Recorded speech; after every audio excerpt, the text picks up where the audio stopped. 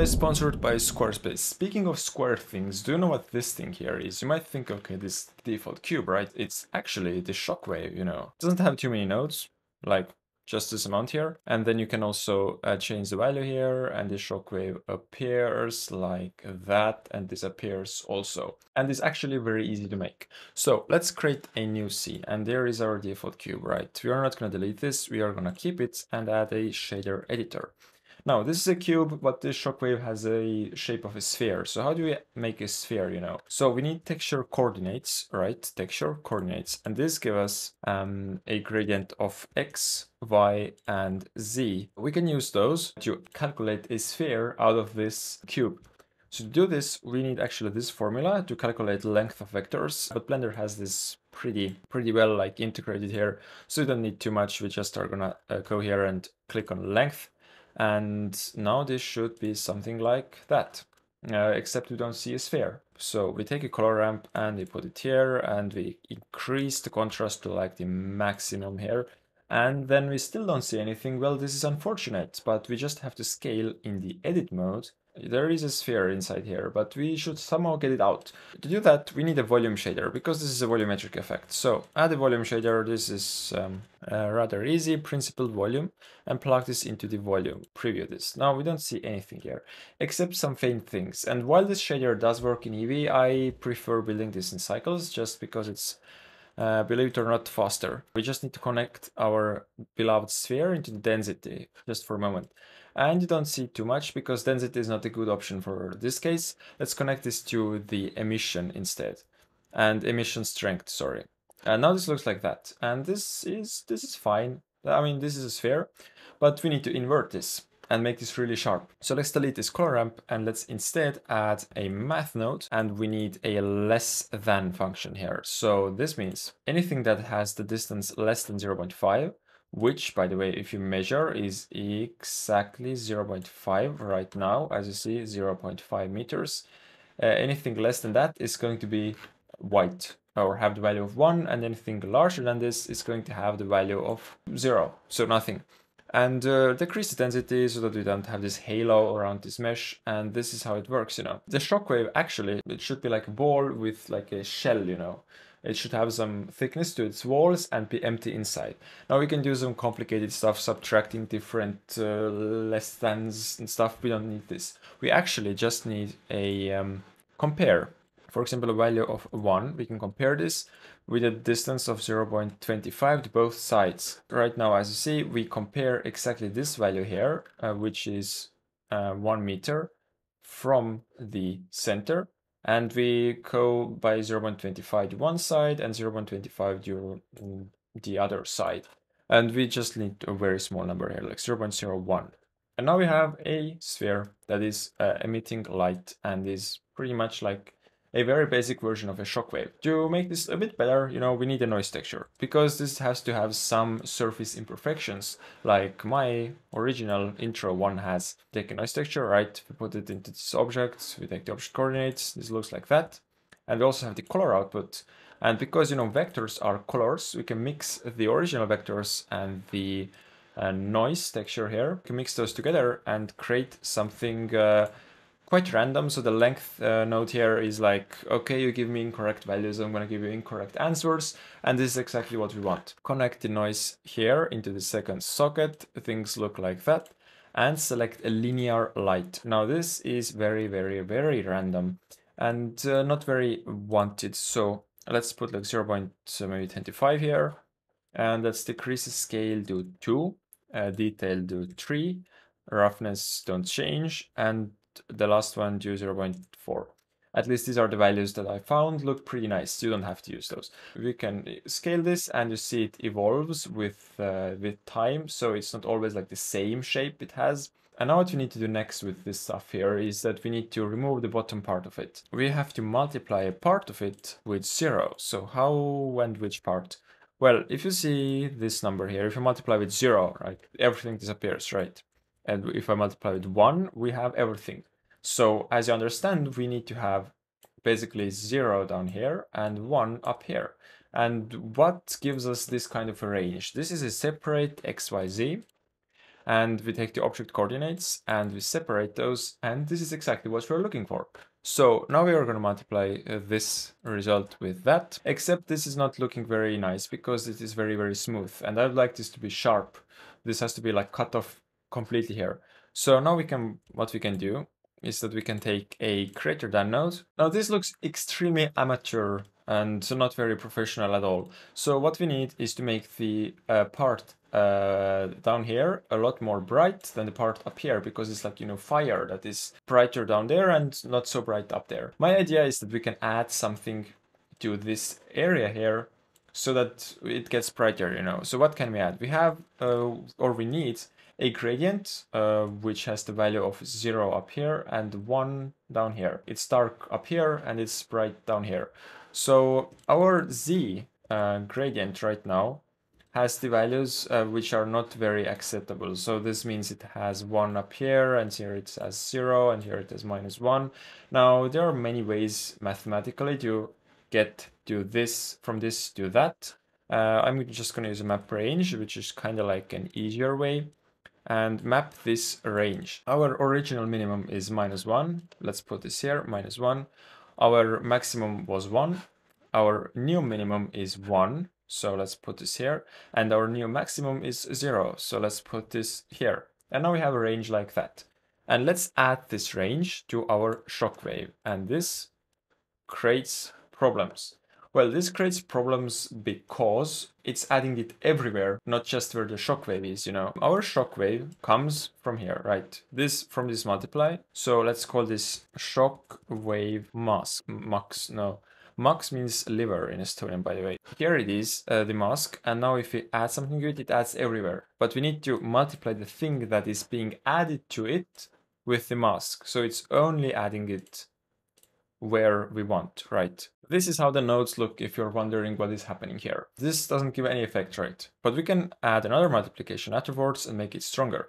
So it is stronger as a whole, right? Nothing is working. But we need a color ramp to increase the contrast of this thing a little bit because this is working, I promise you. And you see, it is working, right? If you go to the side, you see it is working, but it is very very straight of a line here, right? This is super straight. Instead, we want this to be a little bit more noisy. Problem why it is straight is that it comes from the original object coordinates, which look like that. Uh, but we also have noisy ones with the linear light here that look a little bit more noisy. Let's use for the last map range here, just another separate XYZ, and we use the linear light here. So I'm gonna drag this thing here. So we have like a noisy version of those coordinates and an ordinary one, and I'm gonna connect the noisy ones Z to the map range. Now this looks uh, a lot more noisy than it was before. So you see this was before, this is after, and it is following the surface. So this is very good. And this is how the nodes look in case you feel there was some kind of a mystic things going on. The next thing that we need, that when fire emerges from a surface, it is actually more smooth down here and has more uh, distortion or in this case up here. So we can control this with this linear light thing. If this is like way too much, if this is way too little, I'm actually gonna add like a plane here. I'm gonna make our world dark and I'm also gonna delete the one light that we have in the scene. And now if I increase the linear light, you see uh, we should have zero down here and like let's say one up there. So to have a gradient like that, we also need to separate xyz. Uh, let's use the z and plug this to the linear light. And now let's see how this whole thing looks.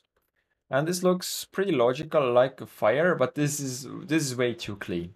So instead, let's use a color ramp to control where this exactly happens and how. Now, I don't want this bottom part, uh, this black here, I don't want this to be like complete black because this is like way too much. So I'm just gonna put like 0.1 here and now this is uh, not a clean circle anymore, but also not very crazy. Let's also switch this uh, to ease so it's a little more um, smooth. And uh, let's switch also this one to maybe ease. Now this is working very nicely. And also if you now uh, move the compare value here, as you see, it is emerging from the void and I mean, it's not disappearing yet, but it's looking pretty nice.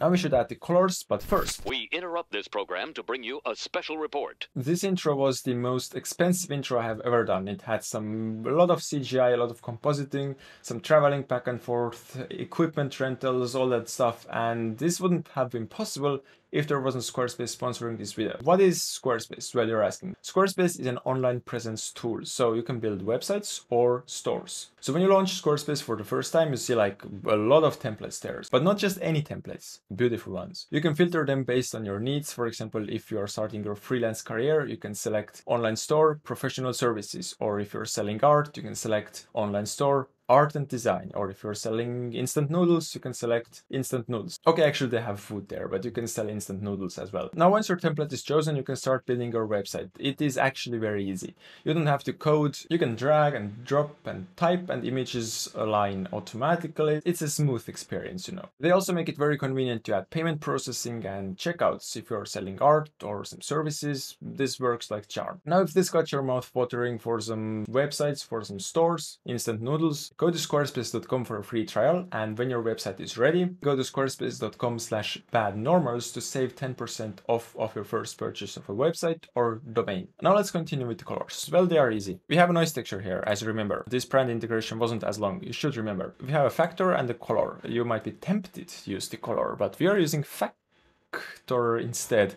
So let's um, take the factor and plug this into um, I cannot see this on my screen, but it should be emission color, right? Now everything is the same as before, except maybe a little bit worse because some of these colors are black.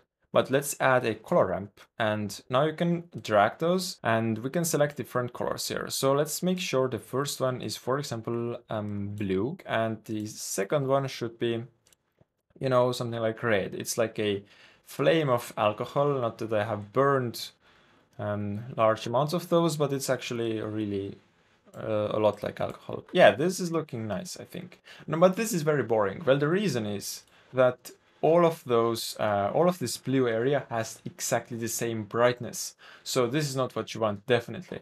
You would like to have a, um, a like brighter parts in some areas.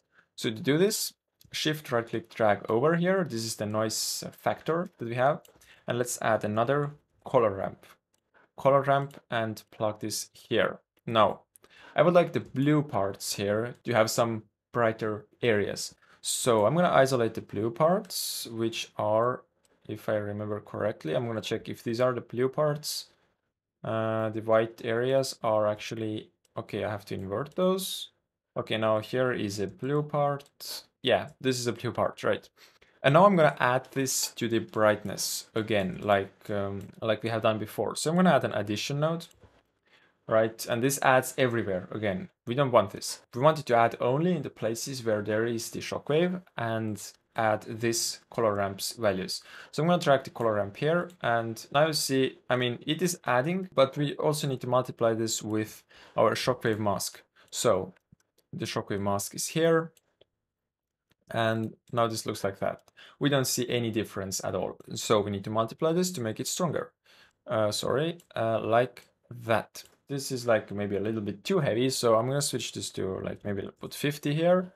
And also let's add some more contrast. Yes, something like that. And you know, tweak those values until you feel you have found something that clicks in your head, you know, you're, thinking this is a nice shockwave, but it is missing the one last crucial step.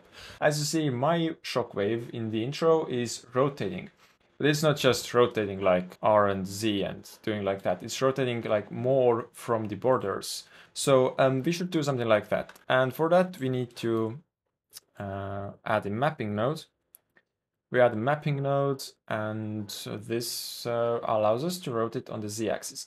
But we should be able to control this so that it's not rotating in the center, but only on the sides.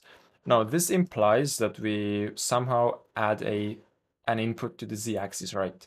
So this tells me already that we need a combine XYZ or RGB, doesn't matter. They both work. Let's switch things up. Let's use RGB.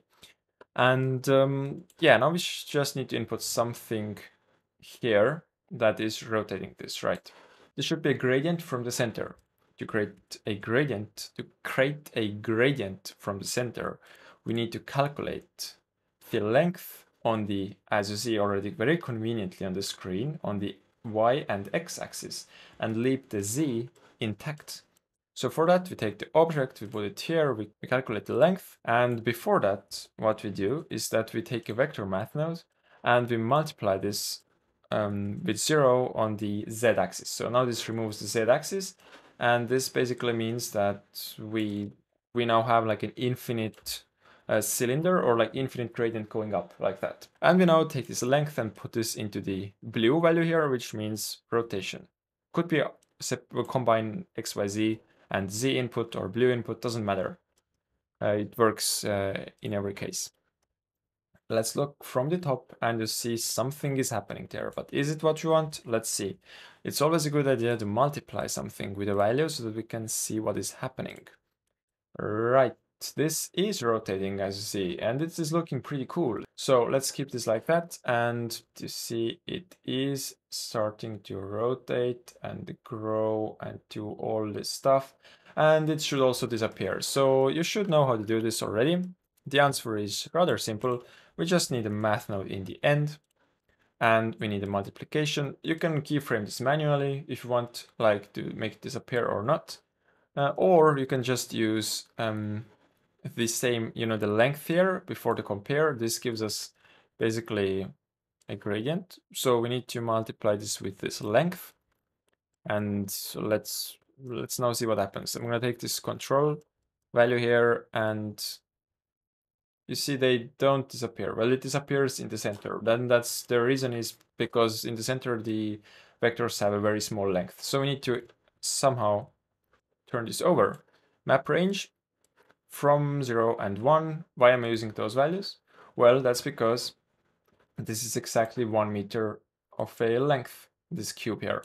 So I'm going to map from 0 to 1 to 1 and 0, disable the overlays, and let's see what happens now. Now if this, it disappears, right? And you can also add, if you want to, you know, get some finer control, you can add a color ramp and, and, and do something like that. And now this should yeah now this now this is working very nicely. And this is how you make a shockwave. It looks really good right? If you want to get access to this file and also files from the intro then patreon is your choice is your way to go also there are live streams uh, each month where we build a project together and all this beautiful stuff. So see you there and also see you next time